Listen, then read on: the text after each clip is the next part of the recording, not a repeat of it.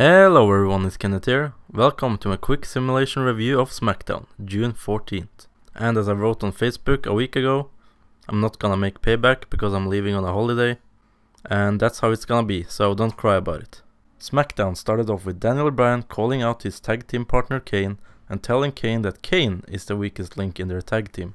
When Kane was about to chokeslam Daniel Bryan, Randy Orton came out and said that he needed Daniel Bryan for payback. Then the Shield showed themselves on the throne and said that they were unstoppable. Next moment. The Celtic warrior Sheamus went one on one against Antonio Cesaro.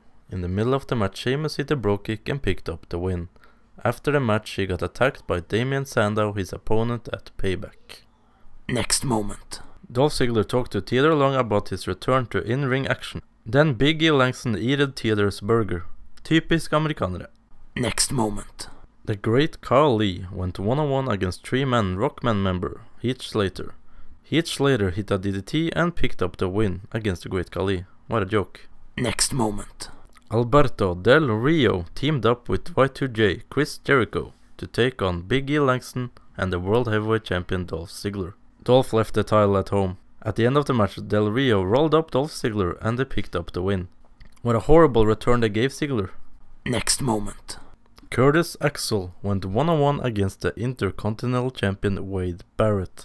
At the start of the match, Wade Barrett tried to talk business with Paul Heyman. Wade said that Curtis Axel didn't need this match, but then The Miz came out and said that they wanted to see them fight. Then at the end of the match, Curtis Axel hit a neckbreaker on Wade Barrett and picked up the win, still undefeated.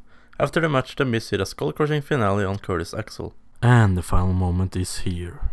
The United States Champion Dean Ambrose and the WWE Tag Team Champions Roman Reigns and Seth Rollins, The Shield, went 3 on 3 against Randy Orton and Team Hell No. At the end of the match, Daniel Bryan hit a no lock on Seth Rollins, and for the first time ever, The Shield lost in a six man tag team match. Show over. Ladies and gentlemen, please welcome the professional poser,